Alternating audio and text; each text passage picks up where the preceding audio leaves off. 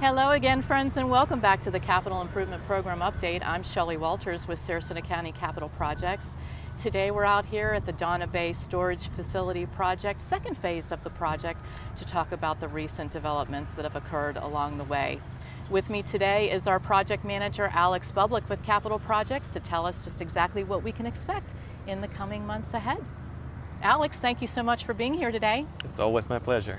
Okay, so let's talk a little bit about the history of the project. I know we started about 10 months ago and we're about 85% complete. Is that correct?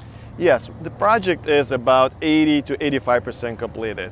The contractor performed tremendous amount of work to achieve this milestone. As of right now, we're working on uh, major activities. And when I'm saying major activities, I mean installation of the concrete pipe, which we have almost two miles of piping. Very we good.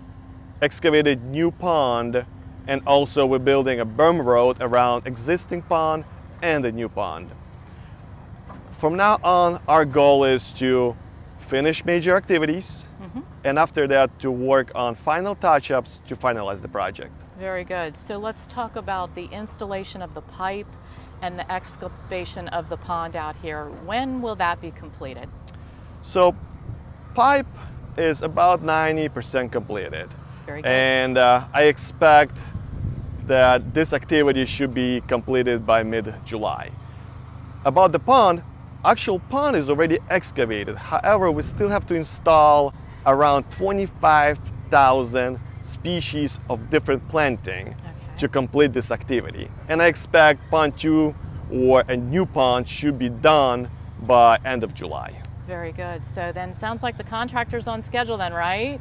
Yes, we are Excellent. actually on schedule, and our plan is to finish this project uh, end of September and to finally accept this project hopefully in uh, October.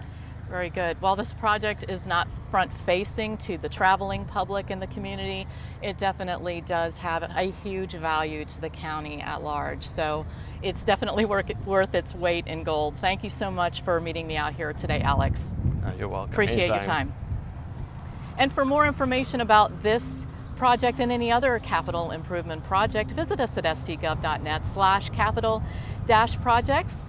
And for all things Sarasota County government, contact the Sarasota County Contact Center at 311 for in-county residents and outside of the county 941-861-5000. And as always, continue to follow us here on social media at SRQ County Gov so you can stay in the know with our other capital improvement project updates. Thanks for watching and we'll see you right back here real soon.